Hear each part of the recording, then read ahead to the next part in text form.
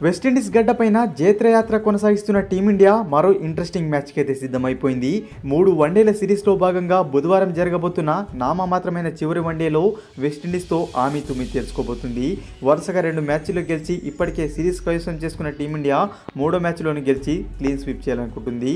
ఇక మరోవైపు రెండు మ్యాచ్లో విజయం కోసం ఆఖరి వరకు పోరాడి ఓడిన విండీస్ చివరి మ్యాచ్లోనే గెలిచి పరువు నిలుపుకోవాలని చూస్తుంది. ఇక మూడో వన్డే కోసం టీమిండియాకి సంబంధించిన ప్లేయింగ్ గెలూన్ ఏ విధంగా ఉండబోతుందో ఓసారి అయితే చూద్దాం. ఇక ఇప్పటికే సిరీస్ కైవసం చేసుకున్న నేపథ్యంలో చివరి వన్డేలో బెంచ్ ఆటగాళ్ళకు టీం మేనేజ్మెంట్ అవకాశం ఇవ్వబోతుంది. రుతురాజ్ గైక్వాడ్ ఇషాన్ కిషన్ హర్షదీప్ సింగ్లు తుది జట్లోకి వచ్చే అవకాశాలు ఉన్నాయి. అయితే ఈ ముగ్గురు జట్లోకి వస్తే ఎవరిని పక్కన పెడతారనే అంశం అయితే చర్చనీయాంశంగా మారింది. ఇక రుతురాజ్ జట్లోకి రావాలంటే మాత్రం ఓపెనింగ్ స్లాట్ ఖాళీ అవ్వాల్సి ఉంటుంది. కెప్టెన్ శిఖర్ ధవన్ను పక్కన పెట్టే పరిస్థితి లేదు. రుతురాజును పక్కగా ఆడించాలనుకుంటే మాత్రం శుభ్మన్ గిల్కు రెస్ట్ ఇవ్వచ్చు. అదేవిధంగా వికెట్ కీపర్ ఈశాన్ కిషన్ జట్లోకి రావాలంటే మరో వికెట్ కీపర్ సాంజు శాంసన్ను పక్కన పెట్టాలి. అతను తొలి మ్యాచ్లో విఫలమైనప్పటికీ రెండో వన్డేలో మాత్రం హాఫ్ సెంచరీతో సత్తా చాటాడు. పెద్దగా అవకాశాలు రాని సంజు శాంసన్ను పక్కన పెట్టే సాహసం అయితే టీమిండియా చేయకపోవచ్చు. అవసరమైతే టీ ట్వంటీ సిరీస్ ఆడబోతున్న సూర్యకుమార్ యాదవ్కు రెస్ట్ ఇచ్చి ఇషాన్ కిషన్ను ఆడించవచ్చు.